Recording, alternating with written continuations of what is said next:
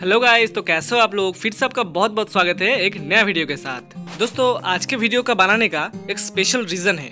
हमारे लगभग सभी के घर में तो हिविस्कस का प्लांट ज़रूर होता है। तो इस हिविस्कस प्लांट का एक मेन प्रॉब्लम ये है कि इसमें छोटे छोटे व्हाइट व्हाइट मिलीबग्स आते हैं एंड उसके साथ साथ एंड्स भी आते हैं। इस मिलीबग रिलेटेड प्रॉब्लम से लगभग हम में से सभी सफ़र करते हैं एंड इस मिलीबग प्रॉब्लम से हम लोग कैसे छुटकारा पा सकते हैं उसी के बारे में आज के वीडियो में मैंने डिटेल में बताया है। गाइस हिविस्कस के प्लांट में ये मिलीबग प्रॉब्लम एक बहुत ही कॉमन प्रॉब्लम है, लेकिन प्लांट के लिए ये बहुत ही डेंजरस भी है।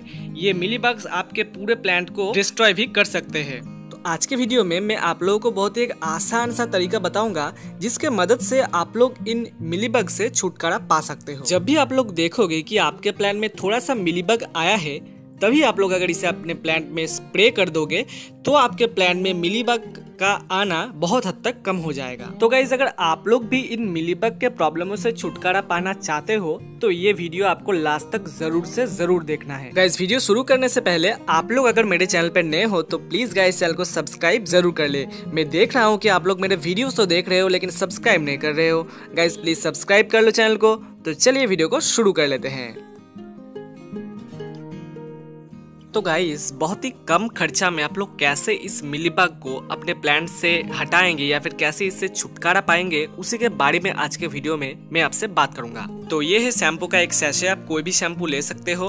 तो इसे यूज़ करके हम लोग बहुत ही आसानी से अपने प्लांट से मिलीबग को हटा सकते हैं। तो इसे हम लोग अपने प्लांट में कैसे यूज़ करेंगे, वो आपको वीडियो लास्ट तक देखने के बाद ही पता चलेगा। तो वीडियो को लास्ट तक ज़रूर देखना, बिल्कुल भी स्किप मत करना। तो हम लोग एक ऐसा स्प्रे बोतल ले लेंगे, अगर आपके घर में स्प्रे बोतल नहीं है तो आप लोग कोई भी बोतल यूज़ कर सकते हैं, उसका कैप पे आप लोग छेद करके स्प्रे बोतल की तरह यूज़ कर सकते हो।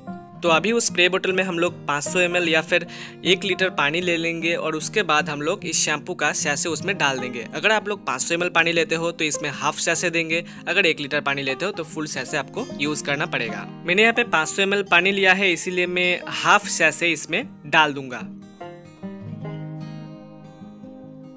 बोतल में शैम्पू भरने के बाद हम लोग इसका ढक्कन लगा लेंगे और उसके बाद बोतल को अच्छी तरह से शेक कर लेंगे ताकि पानी और शैम्पू मिक्स हो जाए।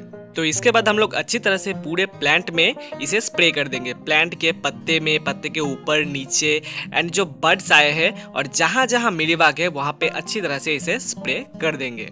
गैस मिलीबग के ऊपर एक व्हाइट लेयर तो आप सभी ने देखा होगा। व्हाइट लेयर इसीलिए होता है ताकि जब भी प्लांट में कुछ पानी स्प्रे करो या फिर कुछ और स्प्रे करो तो वो लेयर उनको किसी भी चीज़ से प्रोटेक्ट करता है। साथ ही साथ मिलीबग के नीचे वाले हिस्से में भी एक ग्लू जैसा सब्सटेंस रहता है, जो उन लोग को इन सभी चीज़ों से बचाता है। इस पानी एंड शैम्पू का मिक्सचर जब हम लोग प्लांट पे स्प्रे करते हैं, तब तो ऊपर वाला जो वैक्स वाला जो लेयर होता है, मिलीबग के ऊपर एंड नीचे जो ग्लू वाला लेयर होता है, वो सभी डिस्ट्रॉय हो जाता है। और इससे मिलीबग प्लांट पे चिपक के नहीं रह सकता और प्लांट से गिर जाता है और काफ़ी हद तक मिलीबग मर भी जाता है। गैस मिलीबग आपके सभी प्लांट के लिए एक बहुत ही खतरनाक इंसेक्ट है। ये आपका पूरा प्लांट खा जाएगा अगर सही टाइम पे आप लोग सही चीज़ यूज़ ना करें। गाइस इस शैम्पू एंड पानी का मिक्सर को आप लोग या तो सूरज उठने से पहले या फिर सूरज डूबने के बाद ही प्लांट पे स्प्रे करें। जब धूप हो, तब कभी भी प्लांट पे ये वाला चीज़ यूज़ ना करें। आप जिस दिन इस शैम्पू एंड पानी का मिक्सर को अपने प्लांट पे स्प्रे करेंगे, उसके दूसरे दिन आप देखेंगे कि आपके प्लांट पे जो मिलीबग था, वो काफ़ी हद तक कम हो चुका है। तो गैज़ आप लोग भी अगर इस मिलीबग के प्रॉब्लम से जूझ रहे हो और इनसे छुटकारा पाना चाहते हो तो इसे ज़रूर अपने प्लान पे यूज़ करके देखें। आपको बहुत अच्छा रिज़ल्ट दिखने को मिल जाएगा। तो गैस वीडियो देखने के बाद अगर आपको अच्छा लगे तो प्लीज़ एक लाइक कर देना। आप लोग अगर मेरे चैनल पर नए हो तो प्लीज़ चैनल को सब्सक्राइब भी कर लेना। आज के लिए वीडियो इतना ही है। मिलते हैं किसी और वीडियो के साथ। तब तक के लिए बाय जय हिंद एंड वंदे मातरम।